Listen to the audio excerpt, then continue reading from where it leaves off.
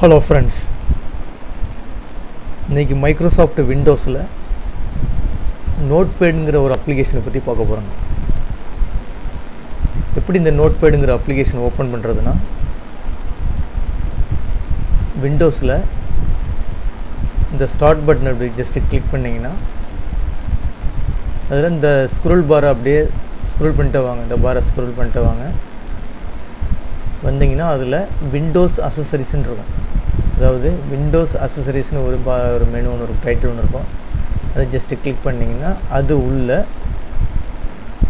Note பேடுங்கிற ஒரு application இருக்கும். Just click பண்ணுங்க. கிளிக் பண்ணிங்கன்னா இந்த மாதிரி வந்துடும் நோட் பேட்னா என்ன? நோட் பேட்னா என்னென்னா வேர்ட் ப்ராசஸிங் அதாவது எழுத்து சம்மந்தமான வேலைகளை இதில் பார்க்கலாம். ஆனால் சிம்பிளாக பார்க்கலாம் ரொம்ப டீப்பாக பார்க்க முடியாது இதில் போய். ரொம்ப சிம்பிளாக பார்க்குறதுக்கு நம்ம யூஸ் பண்ணிக்கலாம். இந்த நோட்பேடு பெரும்பாலும் வந்து என்ன அந்த ஹெச்டிஎம்எல்லாம் கோடிங்லாம் வந்து டைப் பண்ணுறதுக்கு யூஸ் பண்ணிக்குவாங்க. இந்த நோட்பேடில் அந்த ஃபஸ்ட்டு உள்ளது வந்து டைட்டிலுங்கிறது அன்டைட்டிலுங்கிறது ஃபைல் நேமு இது நோட்பேடுங்கிறது வந்து டைட்டில் பாரு இதில் மூணு விதமான பட்டன் இருக்குது என்ன இருக்குன்னா ஃபஸ்ட்டு வந்து மினிமைஸ் பட்டன் இருக்குது ரைட் சைடில் மினிமைஸ் பட்டன் இருக்குது அதேமாதிரி மேக்ஸிமைஸ் இருக்குது மேக்ஸிமைஸ்னால் ஃபுல் ஸ்க்ரீன் ஃபுல்லாக வரும். திருப்பி அதில் வந்து ரீஸ்டோர்னு ஒரு பட்டன் வரும். ஜஸ்ட்டு கிளிக் பண்ணிங்கன்னா ஆர்டினரி சைஸே தான் நம்ம பெருசு பண்ணுறதுனா பெருசு பண்ணிக்கலாம். அடுத்து க்ளோஸ்னு கொடுத்தீங்கன்னா அந்த அப்ளிகேஷன் க்ளோஸ் ஆகிடும் இன்டருக்கு பார்த்தீங்கன்னா க்ளோஸ் ஆகிடும் மினிமைஸ்னா சின்னதாகிடும் ஜஸ்ட் கிளிக் பண்ணிங்கன்னா மினிமைஸ் ஆகிடும் கொஞ்சம் இருக்கு பாருங்கள் இப்போ வந்து இந்த பாரில் இருக்கும். ஜஸ்ட்டு கிளிக் பண்ணிங்கன்னா பெருசாகிடும் ஓகேங்களா? இது எழுத்து சம்மந்தமான வேலைகளை சிம்பிளாக பார்க்குறதுக்கு சிம்பிளாக பண்ணுறதுக்கு இந்த சாஃப்ட்வேரை நீங்கள் யூஸ் பண்ணிக்கலாம். இந்த அப்ளிகேஷனை யூஸ் பண்ணிக்கலாம். இப்போ அதில் பாருங்கள் ஜஸ்ட்டு டைப் பண்ணுறது ஃபஸ்ட்டு டைப்பிங் சம்மந்தம் உங்களுக்கு நம்ம கம்ப்யூட்டரில் வந்து டைப் பண்ணுறீங்க இப்போ ஏதோ ஒரு வேர்ட்ஸ் டைப் பண்ணுறீங்க how to learn notepad application in windows ten ஓகேங்களா இப்போ இந்த மாதிரி டைப் பண்ணியிருக்கோம். டைப் பண்ணிவிட்டு இப்போ ஜஸ்ட் அப்படியே எங்கே கர்சர் இருக்குது அந்த ஒரு கோடு ஓடு வந்து வந்து போகுது பார்த்தீங்களா? ஒரே ஒரு கோடு அதாவது கோடுனா அந்த இருக்குது பார்த்தீங்களா? இந்த கோடு இருக்குது பாருங்கள் ஒரு கோடு வந்து வந்து போகுது பார்த்தீங்கன்னா மறைஞ்சு மறைஞ்சு பிளிங்க் ஆகிட்டு இருக்குல்ல? அதுக்கு பேர் என்ன சொல்கிறது கர்சர்னு சொல்லுவாங்க. இப்போ இதில் உள்ள எரு லெட்டர்ஸ்லாம் எப்படி எரேஸ் பண்ணுறதுனா கர்சருக்கு லெஃப்ட் சைடில் உள்ளதை எரேஸ் பண்ணுறதுக்கு பேக் பேஸ் கொடுக்கணுங்க கர்சர்னுடைய லெஃப்ட் சைடு லெஃப்ட் சைடில் உள்ள எழுத்தை எரேஸ் பண்ணுறதுக்கு பேக் பேஸ் பேக் பேஸ்னால் கம்ப்யூட்டரில் பேக் பேஸ் கொடுத்தீங்கன்னா எரேஸ் ஆகிட்டு வரும். ஓகேங்களா? இப்போ வந்து கர்சர் இங்கே நிற்கிதுங்க ஹவு இப்போ பக்கத்தில் நிற்கிது இப்போ எனக்கு ரைட் சைடில் உள்ள கர்சருக்கு ரைட் சைடில் உள்ள எரேஸ் லெட்டர்ஸ் வந்து எரேஸ் பண்ணிட்டு டேட் யூஸ் பண்ணணும். டெலிட் கொடுத்திங்கன்னா எரேஸ் ஆகும். ரெண்டு விதமாக எரேஸ் பண்ணலாங்க. ஒன்று பேக் பேஸ் கொடுத்திங்கன்னா லெஃப்ட் சைடு லெட்டர்ஸ்லாம் எரேஸ் பண்ணோம். டெலிட் கொடுத்திங்கன்னா ரைட் சைடில் உள்ள லெட்டர்ஸ்லாம் டெலிட் பண்ணும். ஓகேங்களா? கண்ட்ரோல் ஏ கொடுத்துட்டு டெலிட் கொடுத்திங்கன்னா ஃபுல்லாக எல்லாமே எரேஸ் பண்ணிக்கலாம். ஓகே பாருங்கள் இப்போ நம்ம டைப் பண்ணியிருக்கோம் ஏகப்பட்டது டைப் பண்ணி வச்சுருக்கோம். அந்த மாதிரி டைப் பண்ணி வச்சுருக்கோம். டைப் பண்ணி வச்சுட்டு இதை ஃபுல்லாக எரேஸ் பண்ணால் கண்ட்ரோல் ஏ கொடுங்க. கண்ட்ரோல் ஏ கொடுத்திங்கன்னா அந்த மாதிரி செலெக்ஷன் ஆகும். டெலிட்னு கொடுத்தீங்கன்னா ஃபுல்லாக எரேஸ் ஆகிடும் திருப்பி வேணும்னா கண்ட்ரோல் இசட் கொடுத்திங்கன்னா வந்துடும் அந்த வேர்டு இந்த மாதிரிலாம் பண்ணிக்கலாம். ஓகேங்களா? சரிங்க. இப்போ வந்து நான் ஒரு ஒரு டாக்குமெண்ட் எடுக்கிறேன்னு வச்சுங்களேன் இப்போ டாக்குமெண்ட் டைப் பண்ணுறேன் இல்லை டாக்குமெண்ட் வந்து காப்பி பண்ணிக்கிறேன். எனக்கு போரிங்காக இருக்குது அதனால் காப்பி பண்ணிக்கிறேன். இப்போ டைப் பண்ணுறதுக்கு அழுப்பு போட்டுட்டு நான் வந்து என்னது இதில் உள்ள ஒரு டாக்குமெண்ட்டை வந்து நான் காப்பி பண்ணிக்கிறேன். கண்ட்ரோல் சி கொடுத்துட்டு காப்பி பண்ணிக்கிறேன். காப்பி பண்ணிக்கிட்டு நம்ம இங்கே வந்து பேஸ்ட் பண்ணிக்கிறேன் இந்த இருக்குது இந்த மாதிரி டாக்குமெண்ட் அடிச்சிருக்கேன். அடிச்சுட்டு இந்த டாக்குமெண்ட்டை வந்து இதில் வந்து டாக்குமெண்ட்லாம் இந்த மாதிரி டைப் பண்ணிக்கலாம். இதில் இங்கே பாருங்களேன். இதில் வியூவில் இது ஃபார்மேட்டில் ஒரு ஆப்ஷன் ஒன்று இருக்குது இந்த வேர்ட் ட்ராப் வேர்ட் ட்ராப்னு இருக்குல்ல இதை டிக் பண்ணால் தான் கரெக்டாக இருக்கும். இல்லைன்னா ஜஸ்ட்டு டிக்கை எடுத்து விட்ருங்களேன் என்ன செய்து விட்டிங்களா? அதாவது ஏகப்பட்ட லெட்டர்ஸ் உள்ளது ஏகப்பட்டது போயிட்டே இருக்குது பாருங்கள் இப்போ என்ன சிம்பிளாக காட்டுறோம் பாருங்கள் கன்ஃபியூஸாக இருக்குங்களா? இங்கே பாருங்கள் ஒரு நிமிஷம். இப்போ இந்த லெட்டர் இந்த டைப் பண்ணியிருக்கேன். ஆனால் ஒரு இன்ஃபினிட்டி போயிட்டே இருக்குது பாருங்கள் அது பாட்டு ஒரே லைனில் போய்கிட்டே இருக்குது உள்ள ஸ்பாட்டு உள்ளே போயிட்டே இருக்குது இந்த மாதிரி இருக்கக்கூடாது. நம்ம ஒரு ஸ்க்ரீனில் எவ்வளோ பார்க்க முடியுமோ அதை மட்டும்தான் தெரியணும். இப்போ அந்த மாதிரி சுச்சுவேஷனுக்கு வேணுன்னா ஃபார்மேட்டில் போய் இந்த வேர்ட்ராப்பை கிளிக் பண்ணிங்கன்னா கரெக்டாக இருக்கும். இந்த இருக்கு இது வரைக்கும் தான். இதுக்கு அந்த நம்மளுக்கு டெக்ஸ்ட்லாம் என்ன கீழே வந்து அடுத்த லைனில் வந்துடும் அதே வந்து இந்த ஃபார்மேட்டில் வந்து வேட்ராப்பை வந்து டிக் போய் எடுத்து விட்டிங்கன்னா நம்ம டைப் பண்ணக்கூடிய லெட்டர்ஸ் என்ன செஞ்சோம்? ஒரே லைனில் போய்கிட்டே இருக்கும். இதனால் அர்த்தமே கிடையாது. அப்போ எப்போதும் நீங்கள் நோட் பேடு டைப் பண்ணுற மாதிரி இருந்தால் ஃபார்மேட்டில் போய் என்ன செஞ்சு வேட்ராப்பை போய் ஜஸ்ட் டிக் பண்ணி வச்சுங்க அடுத்தது ஃபாண்ட்டுலாம் மாற்றுற மாதிரி தான் மாற்றிக்கலாம் ஃபாண்ட்டுன்னு என்னென்னா எழுத்து தாங்க. அந்த எழுத்துக்கு தான் சொல்கிறது ஃபாண்ட்டுங்கிறது அதாவது ஃபார்மேட் பாரை பற்றி பார்த்துட்ருக்காங்க ஜஸ்ட்டு டைப் பண்ணியாச்சு டைப் பண்ணி முடிச்சுட்டு இப்போ ஃபார்மேட் பாரில் வேட் ட்ராப்னா என்னென்னு சொல்லிட்டேன். அடுத்து ஃபார்மேட் சாரி ஃபாண்ட்டு ஃபாண்ட்டுனா என்னென்னா எழுத்து. இந்த எழுத்து வந்து பல ஸ்டைல் விளம்பர போர்டெலாம் பார்த்துருப்பீங்க. பல ஸ்டைலில் எழுதியிருப்பாங்க. ஓகேங்களா? அப்போ அந்த மாதிரி சுச்சுவேஷனில் நம்ம என்ன செய்யலாம்? இப்போ நீங்கள் ஒரு லெட்டர் டைப் பண்ணுறீங்க அந்த லெட்டர் லெட்டர் இல்லை எனக்கு வேறு லெட்டர்ஸில் வேணும் இல்லை வேறு மாடலில் வேணும் அப்போ அந்த மாதிரி சுச்சுவேஷனில் ஃபார்மேட்டில் போய் ஃபாண்ட்டை போய் சூஸ் பண்ணுங்க சூஸ் பண்ணிங்கன்னா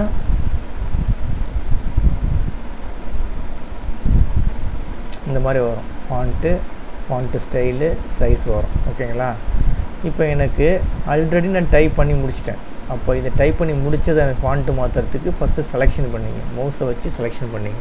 அதாவது ஏற்கனவே நான் டைப் பண்ணி முடிச்சிட்டேன். அதனால் அந்த ஃபாண்ட்டை டைப் பண்ணதை வந்து ஃபாண்ட்டு மாற்ற போகிறேன் அதாவது எடுத்து மாற்ற போகிறேன் அப்போ அதை ஃபுல்லாக செலெக்ஷன் பண்ணிங்க. செலெக்ஷன் பண்ணிவிட்டு நேராக போய் ஃபார்மேட்டில் போய் ஃபாண்ட்டு ஃபாண்ட்டுன்னு கொடுத்தீங்கன்னா அந்த ஃபாண்ட்டு ஓப்பன் ஆகிடும் உங்களுக்கு எந்த விதமான ஃபாண்ட்டு வேணுமோ ஜஸ்ட்டு கிளிக் பண்ணிங்கன்னா இந்த ஃபாண்ட்டு கொடுத்துருக்கேன் இப்போ.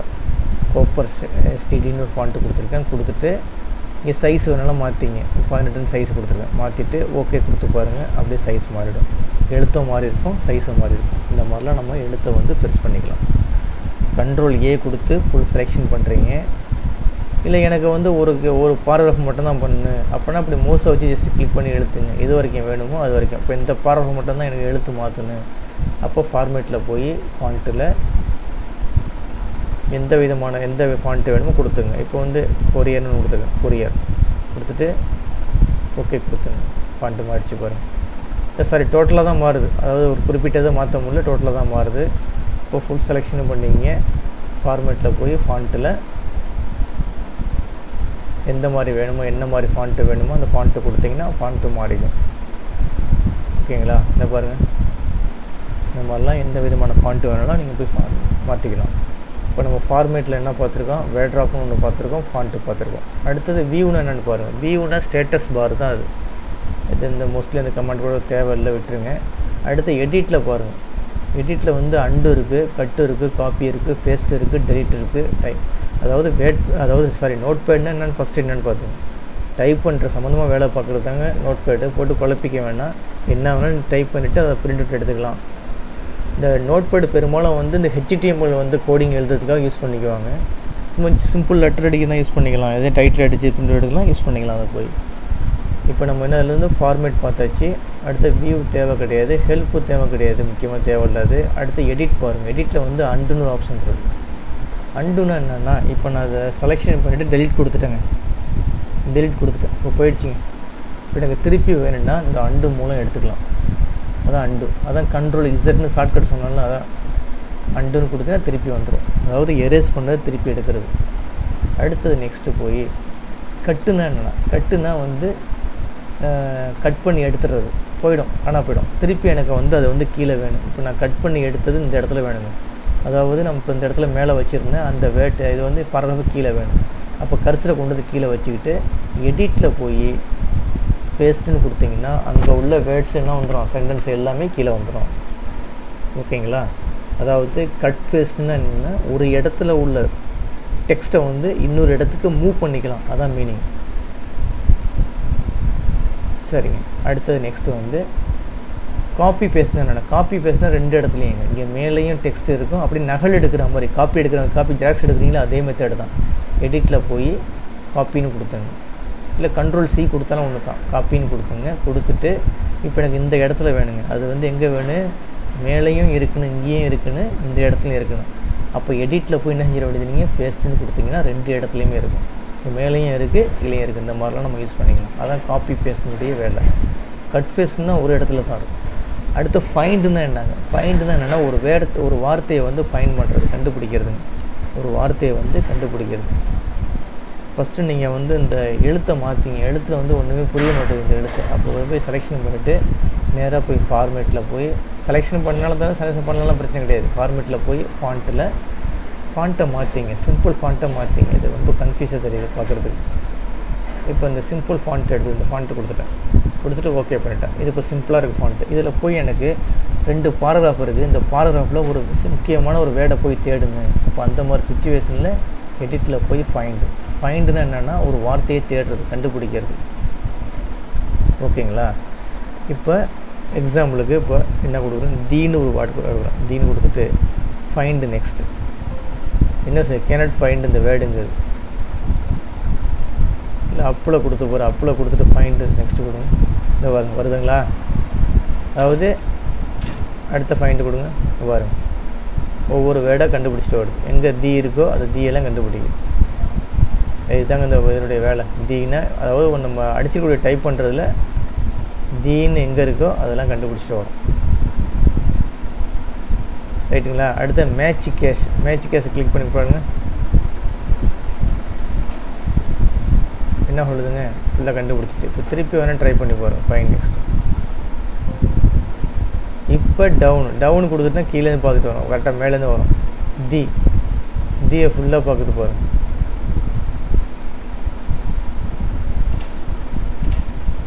ஓகேங்களா? தியை ஃபுல்லாக கண்டுபிடிச்சிட்டு வரும் இதுதான் ஃபைண்டு வாட்டுங்கிறது அடுத்தது ஃபைண்டு நெக்ஸ்ட்டு நெக்ஸ்ட்டும் அதே தான் லாஸ்ட்டில் என்ன கண்டுபிடிச்சோமோ திருப்பி ஃபைண்ட் நெக்ஸ்ட் பண்ணி காட்டும். அடுத்தது ரீப்ளேஸ் ரீப்ளேஸ்னால் என்னென்னா ஒரு வார்த்தை இன்னொரு வார்த்தை எப்படி மாற்றுறப்ப தீங்கிறது அதை வந்து சும்மா எக்ஸாம்பிள் சும்மா தட்டுன்னு மாற்ற போகிறேன் சும்மா மாற்றி காட்டுறேன். கொடுத்துட்டு ஃபஸ்ட்டு ஃபைண்டு நெக்ஸ்ட் கொடுங்க. கண்டுபிடிக்குதுங்களா? ரீப்ளேஸ் இதை மாறிடுச்சு. தட்டுன்னு மாறிடுச்சு பாருங்கள் இங்கே.